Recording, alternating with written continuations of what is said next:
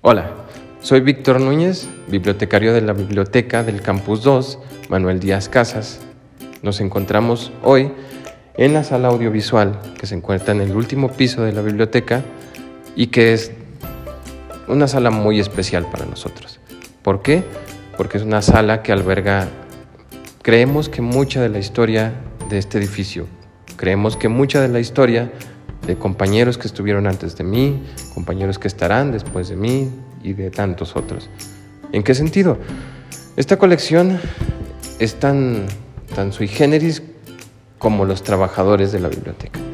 Hay de todo.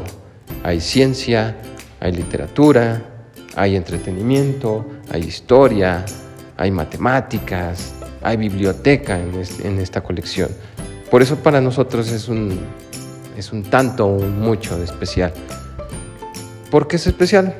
Porque tenemos 2.138 materiales que se conforman de microfichas, microfichas como esta, diapositivas, diapositivas como esta, VHS, beta, CD, DVD, eh, algunos audiolibros, algunos libros, eh, de diferentes índoles, como ya lo hemos dicho, ¿no?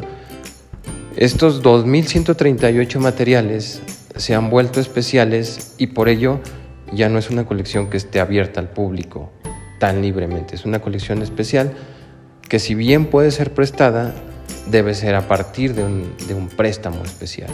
Es decir, si el usuario tiene un VHS, pudiera venir a pedir un préstamo especial y llevarse un VHS.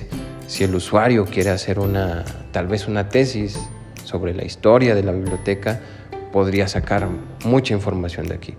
Si el usuario encuentra un material que le parece interesante, puede llevárselo con un préstamo especial. Em, es una colección que, lamentablemente ya no está tanto en uso, por lo mismo, porque muchas de las personas ya no conocen estos formatos, porque muchas de las personas eh, no saben de la misma colección. Así que supongo que para esto es algo de, esta cápsula, de este video. Invitarlos a que vengan, invitarlos a que la consulten, invitarlos a que se maravillen con esta poquita historia o con estos materiales a veces tan extraños que podemos encontrar aquí. La pueden encontrar en la biblioteca del Campus 2 Manuel Díaz Casas y estamos abiertos de 8 de la mañana a 8 de la noche.